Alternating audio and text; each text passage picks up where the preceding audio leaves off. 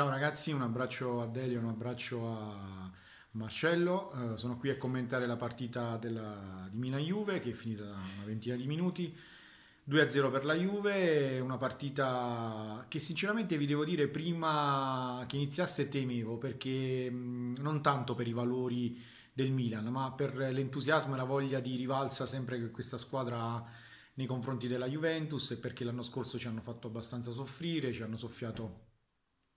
una Supercoppa, tutti questi, questi, questi, aspetti. Però poi vedendo la partita, tranne i primi 7-8 minuti dove il Milan ha pressato, dobbiamo dire che la Juventus ha gestito una partita alla grande, la, la, la giocata uh, in scioltezza e soprattutto non ha permesso al Milan, almeno nel secondo tempo, di, di, di, di, di essere innocuo e soprattutto di non avvicinarsi mai con pericolosità nell'area di rigore. Eh, voglio dire solo che non ci sono parole ulteriori da spendere per Gonzalo Higuain, che non tanto la doppietta che ha, che, ha, che ha, realizzato, ma il lavoro sporco che questo giocatore continua a fare, rincorrendo i palloni, gli avversari, incoraggiando i propri compagni di squadra a non mollare mai, a essere sempre pronti eh, e soprattutto a, essere aggressivi. Questo ragazzo, come ho già detto, incarna ormai lo stile Juve, la maglia Juve, il DNA Juve. Eh, anche come si rivolge verso i nostri tifosi in curva, lo fa con una, con una voglia, con una grinta, con, si sente veramente, ormai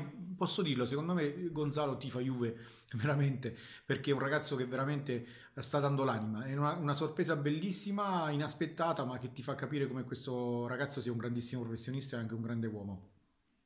a discapito anche di quello che diceva il signor De Laurentiis a Napoli. Eh, dico che Chiellini ha fatto una partita maestosa e maiuscola in difesa e, e, devo dire che ha fatto un lavoro sporco anche egli, ma poco notato forse anche dai commentatori, quello di Manzukic che ha, insieme a Samoa hanno ha annullato Suso che praticamente non ha fatto un cross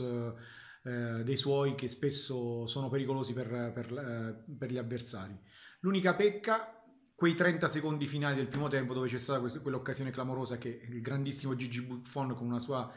impercettibile deviazione ha permesso alla palla di andare sulla traversa invece che di andare in porta e sulla respinta Rugani si è immolato e ha salvato uh, la, la, propria porta. Eh, dico di sempre che queste sono situazioni che si potrebbero evitare. Certo, in una partita non, non può essere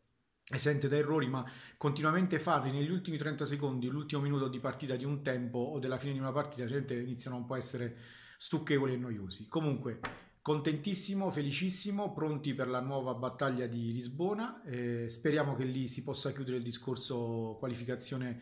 per gli ottavi e, e spero che eh, diciamo, questo avvenga con una altrettanto bellissima partita e prestazione come questa sera. Un abbraccio a tutti, forza Juve sempre.